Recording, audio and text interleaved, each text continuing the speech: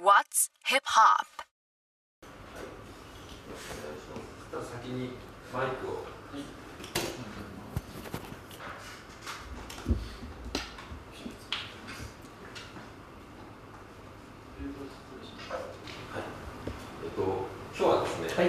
そんなにこう改まってインタビューというよりは、なんかいろんな話を聞きたいっていうところもあったりして、単純にその聞いてください その番組をやっていく中でなんかこう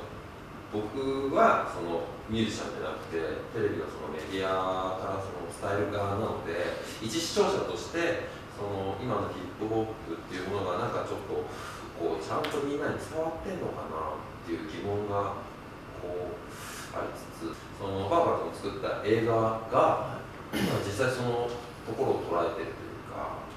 そ一番なんかこう表現してるところではあったのでうちの番組がそこをこうリスペクトしつつもう視聴者その一般の人たちがたまたまテレビつけた人たちがなんかそのヒップホップとは何なのかっていうのをもう一度再確認できるチャンスを与えてればなって思ったりして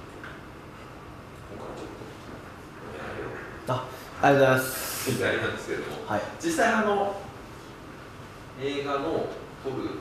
そのあの題材で行こうと思った理由は何だったんですか？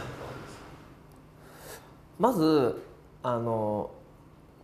ヒップホップってすごく他のジャンルにない特殊なカルチャーを持つあのなんだろうところだと思うんですよ。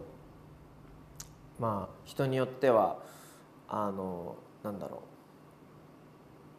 ねすごくあのホームであったりある人にとってはすごくなんか異色な文化であったりするもんなんですけどなんかそれこそすごい面白い部分もいっぱい含んでるカルチャーなのに何か日本では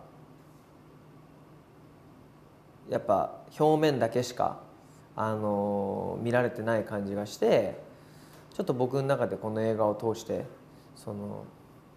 奥深いところ実はそのあの当事者たちその最善でやってるアーティストたちが考えてることとかを